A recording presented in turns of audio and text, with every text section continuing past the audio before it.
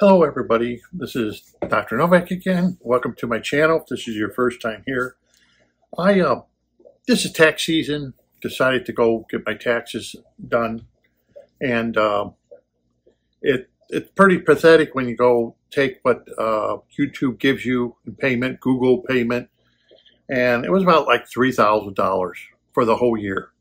And took it to my accountant. Basically looked at it, man, this is nothing, you know. That's how impressed he was with it. I don't think people understand that people, you know, make all these videos, take their time out, answer questions, just to make $3,000 a year in 12 months. That's not even minimum wage. You know, for the hundreds of videos that you may put out, uh, YouTube does not pay a lot to make these videos. And then people asking questions on top of that when when they make comments, and you're taking your time out for not even minimum wage. And that's how YouTube has set it up. Their algorithms, however they set it up, the people who have the most followers get the most attention. And uh, since I, I've been doing this since, what, 2014, and I have over 15,000 200 followers, you know, or people who have subscribed. And that's how YouTube looks at things as the subscribers. If most people, and this is like maybe like 69% of the people that watch these videos, they don't subscribe.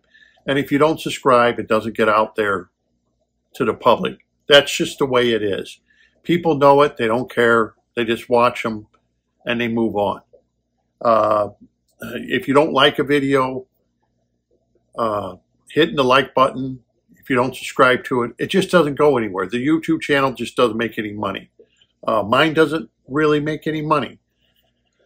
And you wonder why the information can't get out to the people. It's just because the odds are very much against you. I've even seen YouTube people complain about they make YouTube videos every single day and they actually have lost people because as things, their YouTube channel gets older and older, uh, they wind up losing people that uh, somehow get uh, lost because of the way the algorithm is with Google and YouTube channels. But I just wanted to let you know, I'm not really making any money off this. Most of the money I do make off of it, most of it I do make, I buy new things with it because you may wonder on my channel, well, I'm buying this or I'm buying this kind of light or I bought uh, these kind of skimmers. Most of this all comes from what I make from YouTube to pay for it. So literally, I'm taking that money and investing it into products, food, and stuff like that so I can let you know how's it doing. And basically, you end up with nothing in your pocket. So you're doing it basically for free. And uh, I could see where people then go to Patreons and other things of uh, uh, because it uh, it doesn't pay to do videos. Actually, it just doesn't pay, except for the big people who, and a lot of the people who do have a lot of followers. They, I don't know how they wind up getting them. They wind up getting them, but it takes a lot more time than I guess I want to invest into it. Especially, I don't want to go on forums. I don't want to go on. Um, Facebook. I, I do post on Facebook when I do a video sometimes, or on X, which is Twitter. Um, but other than that, no, I don't want to get heavily involved into forums or anything else to try to grab more people to watch my videos. That to me is uh, uh, just too time consuming and it's not a major income for me. As you can see, $3,000 is not going to make or break somebody on their income. But anyway, I just want to tell you that that uh, that I guess you don't think about it that a lot of people are doing these videos to help other people and they're not making anything. A lot of stuff that, like I said, I spend that money on a lot of products or new products to see if they work. Like, for instance, the uh, auto top off, you know, from the Hygger that I did a review on that I've been using now for quite some time. A lot of people have made their concerns. They're they don't want to buy an auto top off. The auto top off are good if you have a lot of evaporation, you know, out of your aquarium. And like the new aquarium I just made, uh, went smoothly. The six gallon and the 15 gallon, uh, the 15 gallon has a weir. It has a sump in the back of it. A lot of tanks have that now. You can put a sump on the bottom or behind the aquarium. The a lot of aquariums have that. It's built in, but they have a problem with evaporation, more so than if you have a canister filter. Because even a hang on the back filter is going to have more evaporation than a canister filter. Can, if depending on how your your outlet is in your aquarium. Okay, that will depend on how much evaporation. But if you have a lid or don't have a lid. But anyway, those uh, tanks that have sumps, whether they're in the back or underneath, seem to have more of the problems of water evaporating. And therefore, an auto top off comes in handy, but there are cheap ones. And a lot of people complain that, oh, I'm having problems with the auto top off. Uh, the buzzer keeps going off, or uh, it keeps, um, it, it, it breaks, or this. Well, if it breaks, there's nothing you can do. You know, if, if your plug-in breaks, gets loose from unplugging it or plugging it in. That's just the product itself, quality of the product. But there's something like I do that uh, that I found out with these auto top offs, and you may try it if you have an auto top off and you're getting like the Hygger one. Works fine. You just have to keep it clean. A lot of people say, oh, it worked fine for a few months and then it didn't. Uh, if you keep them clean, they work fine. They will keep your aquarium topped off but um, the best thing I found out is to get one of those, uh, what do they call? They're like a timer, but they run off of your phone.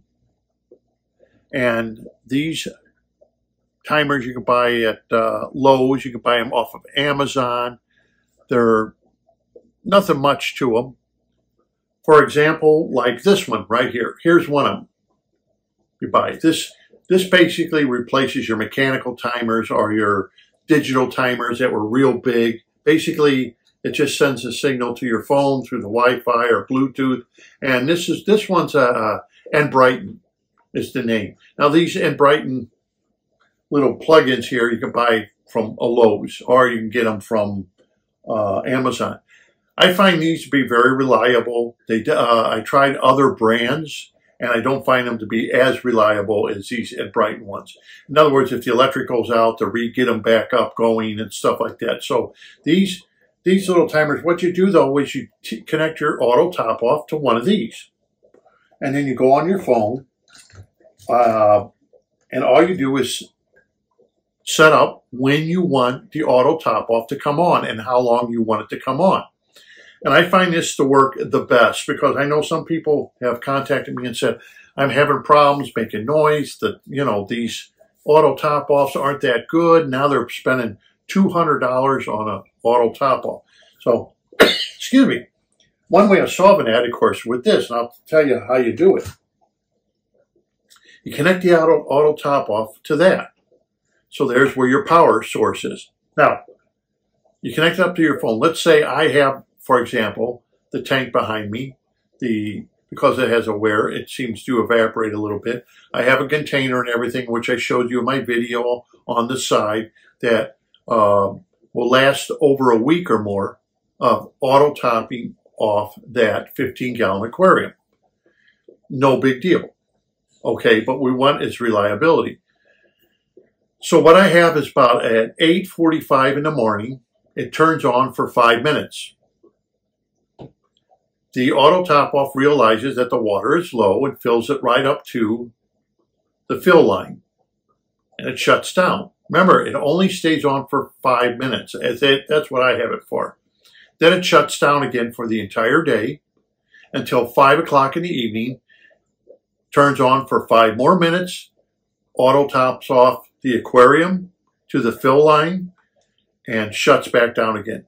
This way you eliminate uh, it running all day and sometimes showing error. And what I mean by this is uh, these auto top offs, all of them, whether you're using a float or whether you're using the electronic eye, they all read the water level constantly.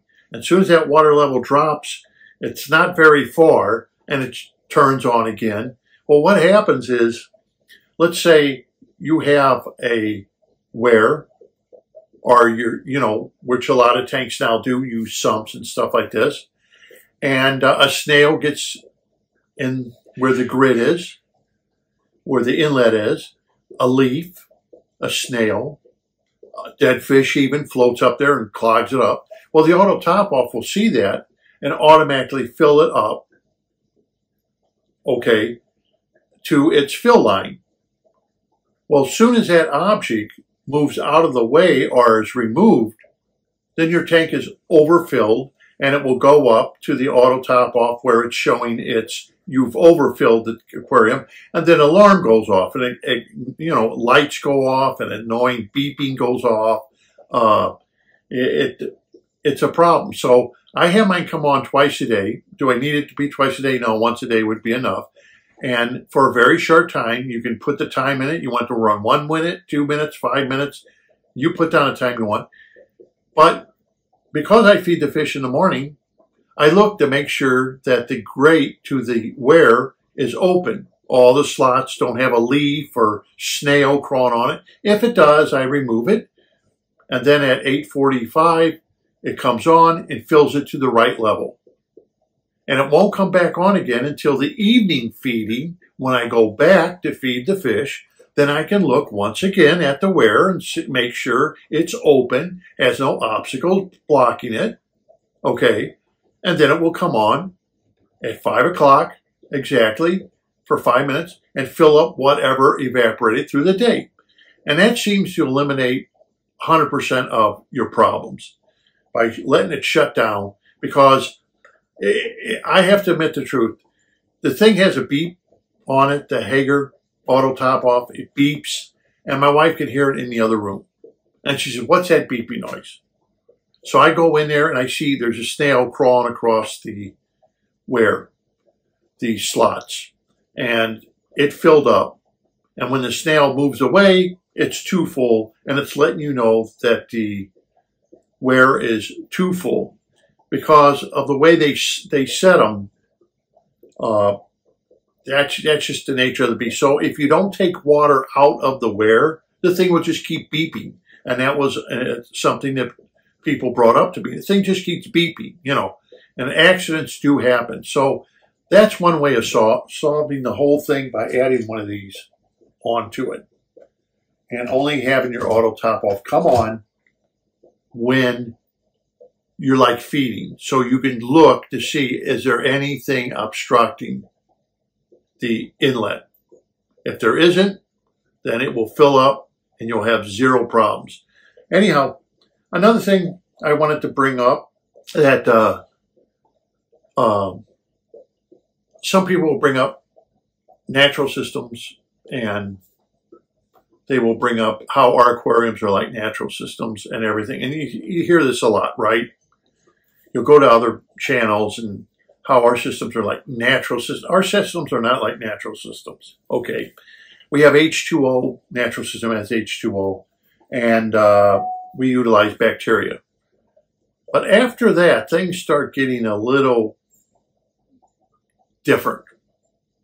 And there's things like uh, Epistylius, uh, Memento, Rotifers, Aspidiscus, that are, and there's more that, you know, that are in natural systems that we may not want in our systems, but they exist in natural systems.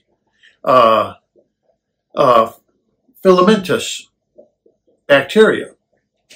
Mm, you never hear about that in our systems, but they're in natural systems there's lots of things, bacteria and, and natural systems that uh, exist, and a lot of things that exist in natural systems that cling on to bacteria because they're so tiny, they cling on to bacteria and they are part of natural systems. natural, uh, let's see, the, let me see, I was, I was trying to get something out. The, the chemical succession in anoxic aquariums along with lakes, lake waters as a source of molecular diversity of organic matter. And there's all kinds of articles and stuff written about that where uh, they talk about OM, OM, which is organic matter, and uh, then you have DOM, which is dissolved organic matter, which plays a very large part in the natural system versus our aquariums if you're not using anoxic conditions. Anoxic conditions with some may, the, the anoxic conditions, in case this is your first time here where everybody would know, is the conditions that take care of the nitrogen cycle. Oh, wow, I never heard of that. Well, it does. It's conditions that exist where it's dissolved uh, DOMs or OMs, and these conditions have to exist like they do in natural systems in our aquariums to finish and complete the nitrogen cycle. Uh, nitrogen cycle was completed with specialized bacteria that can steal oxygen when the oxygen levels become anoxic or even to the point of they do not exist. If those bacteria find that they are starving for oxygen and very low levels where oxygen uh, is almost immeasurable without the right kind of equipment. They will steal the oxygen from nitrates and leave nitrogen gas. And you will see this in sewer treatment facilities, for example, through bubbles uh, coming from the water, which means that is your N2, your nitrogen. So this denitrification process is the end results of the nitrogen cycle. And it's never talked about. But yet in natural systems it exists, but it really is never talked about in our system. Most people just say, oh, I don't have any nitrates. I don't have, yeah, but are you dependent upon plant matter as your main source? Like the aquariums I set up the six gallon aquarium, the 15 gallon aquarium um, that I set up. I set them both up with plenums and they went just fine. They're working just fine. Okay, no problems. I'm using homemade lights and everything else. About the, the easiest aquarium I've ever set up. They don't have water speeding through the under gravels or your plenum at the speed of light, which is how they should be used correctly. They're not dependent really when you make a plenum on specialized substrates unless you want to enhance it um, to make anoxic conditions by adding, you know, kitty litter or your oil dries or anything else. You can enhance it by using those products. Is it a necessity, necessity of, of you have to? No. You can use any kind of substrate you want as long as fluids are moving. And this is what creates the anoxic conditions that uh, dissimilatory denitrification, dissimilative denitrification, and uh, which then will take nitrates and steal the oxygen, the bacteria that does it. And these are heterotrophic bacteria. They multiply very quickly. They're very fast multiplying when they start multiplying. And usually when you set up an aquarium, like I set up the ones like that are behind me, when you set up these aquariums like this the correct way, and you can add like a quick start, FritzZyme 7, something like that, you usually end up with zero problems with ammonia and everything. Zero problems. You set it up and the next day you can go out shopping for your fish, you know, once you get them set up because they establish so quickly the bacteria into the substrate a lot faster than aquariums that have the substrate thrown at the bottom. Even if the substrate's only one inch thick, thrown at the bottom. These aquariums establish far faster because fluids are moving through the substrate, like natural systems. If you go to a sewage treatment facility, of course, fluids are moving to the point where it's being controlled by oxygen, taken away, giving, and some of the things I just mentioned, uh, like Epistelius and uh, mementos, for example, rotifiers, they check these things out to find out how the system in a sewage treatment plant is working. How, if they find too much of one thing, they know if it's working correctly. Too much of another thing, they know it's not working, and they know how to adjust and make changes to sewage treatment plants. They are far, far more superior in bacteria load than natural systems. Okay, natural systems do not have the bacteria load that like sewer treatment facilities have. So these uh, oxygen-free habitats, well, they're not really oxygen-free. It's just the oxygen is either so low or they could go to oxygen-free, which would be anaerobic conditions. Let's say I have written down here, habitats with aquatic systems are often temporary transit and spatially constrained, and there were typical perceived as sites of modest DOM uh, processing and mineralizations. Studies specifically targeted anoxic water, however, have challenged this view by demonstrating relatively high rates of microbial activity and DOM removal relative to oxic environments. Okay, I just wanted to re read you that because this is this is right from sewage treatment facilities what they found out. So having anoxic conditions improves your aquarium, just like it does with sewage treatment facility, your DOM and your toxic waters, just by having anoxic conditions. So I wanted to bring that up because a lot of people don't understand that. They don't understand the science behind it. But here it is in an article that was written. I'm going to have links below. So if you wish to go and read any of this information about what I have just said, how anoxic conditions improve water quality from sewage treatment facilities, uh, you can go read them yourself and you determine what you want to think then. No matter how the hobbyist wants to talk, they talk a big talk, you know, the microbiology is not there when they're talking. There's a lot more into it. So what I've just told you about oxygen-free zone and oxic zones and what they're finding out about how the stability of the zones are they found out uh, the anoxic zone is a lot more stable and does a lot more work than a zone that is oxygen free, which would be placing your substrate directly at the bottom of an aquarium, unless that substrate is constantly being moved to allow oxygen to get into it. So that's it for this video. Sorry it was so long, the video, but I thought I ought to get some of those things cleared up about YouTube, about the uh, auto top off. I definitely was thinking that they're they're good devices, auto top offs, if you use them correctly. And one thing I found out is adding them to some sort of switch.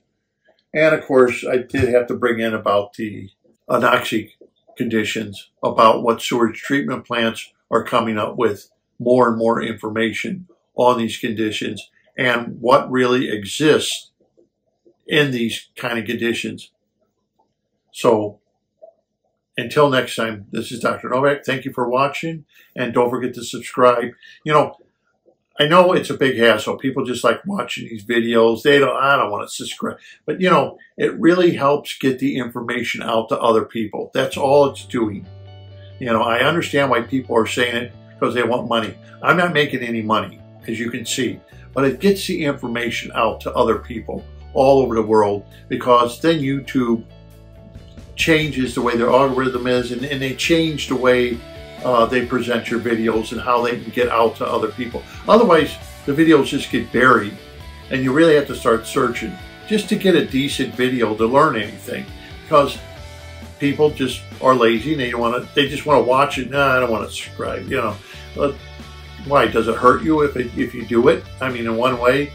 So, you know, not that it's a money maker. So until next time, happy fish keeping.